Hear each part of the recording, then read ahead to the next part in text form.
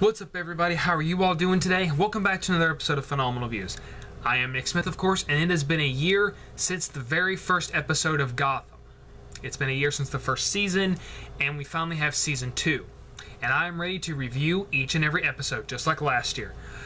Uh, I'm going to go in depth into this episode, so for those who do not want to know what happens, I will tell you to leave the video now because I will be going into major spoiler territory and my thoughts and possibly theories that could be going on in the show in itself. So, for those who do not want to be here, you got five seconds to leave.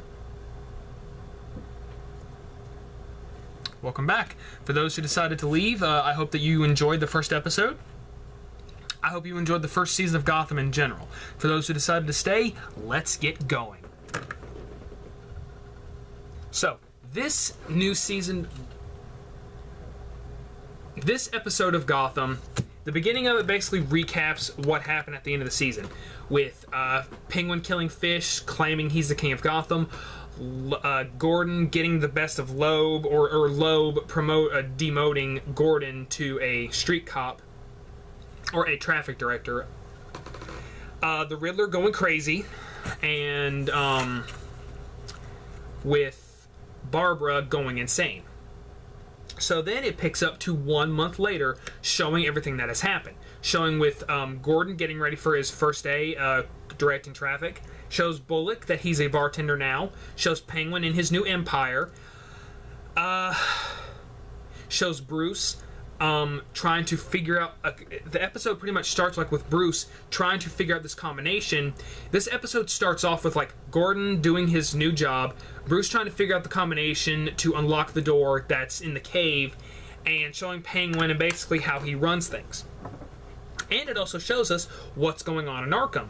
So while Jim is directing traffic, we see glimpses of this fat guy in an armored suit, and I was thinking, is this the Batman villain known as Prometheus? And the reason why I thought that was because I know that you learn about a lot of the Batman villains in Arkham Asylum, or just Arkham in general. And I seen things for a villain called Prometheus, and I was like, well, is this guy Prometheus? But no, he is a guy called Zaardon who was instructed by somebody to drink. Actually, no, no, no. He was instructed by someone in this episode to drink this stuff that I guess in his mind he thought was going to make him super powerful and immortal. Um, but that's not the case because Jim takes him down in quite a few seconds after causing some disturbance. Jim is able to take him down, but he shoves another police officer, and the police officer basically goes and tattletales on him. So Loeb pretty much fires him. And his. Oh, I forget what her name is, but the woman who was basically trying to keep Jim, basically telling Jim to be careful all the time, he Loeb still has everyone in the Gotham police force under his thumb and he's fired. He didn't quit. But because of this, he's wanting to get justice in Gotham, and he knows that it will never get done as long as Loeb is in command. So he devises the plan of he is going to go to Penguin, ask him for a favor so he can, one, get his job back, and two, get Loeb out because he knows that a lot of the crime in Gotham is due to Loeb. And with this, Bruce is basically still trying to figure out what is in um, his dad's cave. He's trying to unlock it. He's trying to figure out any of the secrets. And we get some really funny moments between Alfred and Bruce. These two actors play so well off each other, and it was really good to see the funny banter between the two.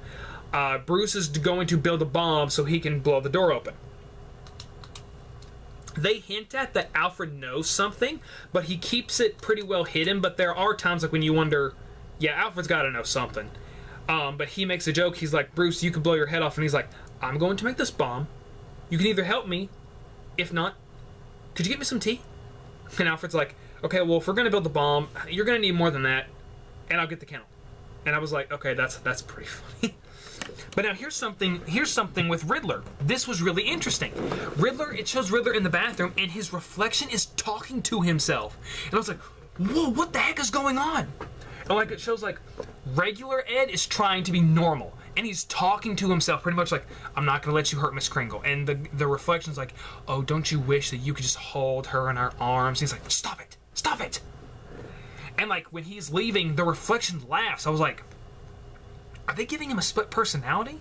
because I actually don't think the Riddler has a split personality. I know that's Two Face, but they pretty much talk about how in this episode, how in order to do the right thing, sometimes you have to do a bad thing, or you can make a choice. So, Penguin says he'll do what Gordon asks him to do, but it's going to cost Jim a price. And we see that when he uh, takes this job, he can take down a lot more people. I, I was just surprised. I mean, I know Jim is an awesome fighter and an awesome shot, but when he goes to this place, because Penguin, it's a guy that owe, owes Penguin money, but he's not going to give it to him because he is not Falcone. And he refuses to give Falcone, uh, Penguin the money, so Gordon shows up, and he's able to take all three of these guys down single handedly with a gun pointed at one guy's face. And I was like, Jim Gordon, you impress me more and more each time and even takes down the guy. But I tell you, here's one of the things in this episode, and even in the series, that I do not know how I feel about. Possibly the fact that Barbara Gordon might be the new Harley Quinn in this series. Because of what happened last time when she killed her parents.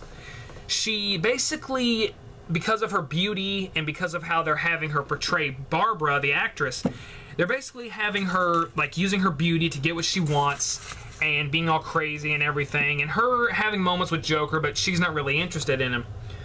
Uh, but he basically is like, look, you need friends in a place like this, and he gets friends, or she gets friends by her beauty. And so she gets a phone and she talks to Jim, and she's like, Jim, I, I didn't kill my parents. I didn't. You got to get me out of here. And Jim's like, you're insane. Don't call back. So then she calls their house, and, and Jim's like, just let it go to voicemail. And it says, Hey girl, sorry I missed you. I hope you die a most painful death, you. Bye. And I was like, okay, yeah, they're obviously making her Harley Quinn. It's it's obvious. I really don't I really don't want them to though.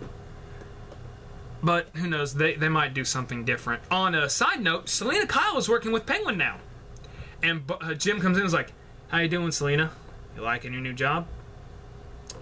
It's a promotion, and he's like, yeah, you got to get up in the world, I guess, or, or something along the lines like that. But it was pretty funny. Um, other things in this episode that happened, which was really weird. Zaardon kept burping this blue stuff, and the the stuff that he drank, he keeps burping a mist. And I was like, well, I wonder what's gonna happen with this. And I was like, I was thinking he drunk dragon blood or something like the head of the demon, but no. We find out later because they send him to Arkham, and this was a. This kind of made me think of the Dark Knight. This guy is going like, "You all will bow to Zaardon," and then like saying like his master will rule or something. Then he gets on the table and he starts choking, and then he dies. And it made me think of that scene in The Dark Knight where the guy had the cell phone in his body. I was like, this is kind of disturbing. And so we find out that he was actually a bomb and so they find out that six people escaped. Barbara was one of them, and that's what they said. Like Barbara was one of them. Barbara, the Joker, her bodyguard, and three other guys. And it was by the new guy, the guy who's possibly the new commissioner, Theo uh, Galithian. And the thing that Penguin ends up doing to Loeb is he knows that there's no way that he's going to be able to get him to drop out or quit. So, or he, he knows that, like, he can't bribe him, he can't threaten him. So he devises that he retires. Loeb's not happy about it. Loeb is pissed. Like, you can just see this look on his face. He's like, he's trying to keep his composure because he's pissed that he has to retire because it's what Jim wanted. And when they get this new guy, when they get um, Theo Gathilian, he um, he lets one of the guys go, and the guy's like, "Barbara's coming with me. I'm her bodyguard." And he's like, "Oh, she's not coming with you because you don't. She's not gonna want to go where you're going." And it's the assassins. Uh, actually, it's Theo's sister was one of the assassins who tried to kill Selina. And she's choking the guy to death and then stabbing him, and the Joker is just laughing it up. And he's basically, they're basically in the situation if you want to leave, you're gonna die. You work for me or you die. and and Barbara has this look on her face like, crap, what have I gotten myself into now? And so, you know, Jim has his job back. Bruce, Bruce and Jim actually have a very good moment with each other because this is after he got fired. He goes and tells Bruce that he cannot keep his promise because he was fired. But Bruce tells him like you're going to continue the investigation of my parents' murder. You are going to get your job back. And they talk about like how if he had to do it, he would have to do something bad and he he does. And when they finally get in the cave, they find out that the combination was Bruce. It was his name, and he kept typing in so many combinations. But my favorite scene in this whole episode is when after Gordon leaves, Bruce clicks the button to go down to the cave. I was like, oh my gosh, this is awesome! Because it made me think of like a young Batman just wait until someone leaves to open the cave and go down there. I was like, oh, this is so cool! And he couldn't figure out the thing, and so that's why he built the bomb. So they find this letter and he's basically like, son, I knew you would find this place someday. If you are reading this letter, I am dead.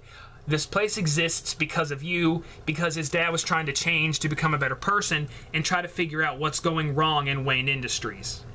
And he's like, I do know what I do not know what happened to me, what happened to your mother. And he basically talks about how he's sorry he's not going to be able to see the man that he is going to become. But he says that he came with a choice. You cannot have happiness and truth at the same time. You can only have one or the other. And Thomas said, I honestly hope you choose happiness. But if there comes a time when you have to choose truth, it needs to come from a desire of a true calling. And Bruce is like, a calling, a true calling. The episode ends. Basically showing us that Bruce is developing his calling to eventually become the Batman and I honestly cannot wait to see what else is going to happen in this season. I'm so excited. Episode 1 was okay, it was kind of slow, but it picked up. It does have some people having good chemistry with each other still. There's good chemistry between Gordon and Harvey Bullock, and like they learn Harvey's experience as a cop. The job he drunk a lot. Uh, he was single and he wasn't happy, but once he he talked about like, what the job did to him but now he runs a bar, he's happy, he's not single, he quit drinking, and he's happy with his life. And I honestly hope that they do not leave Bullock out of the series. Like, I hope this is not the last time we see Bullock. Because I love the chemistry between Gordon and Harvey Bullock. They have such good chemistry. They still consider each other brothers. And it is just something I'm really hoping that I get to see. Well, guys, that is. I'm going to give this episode a 7 out of 10. Not too bad.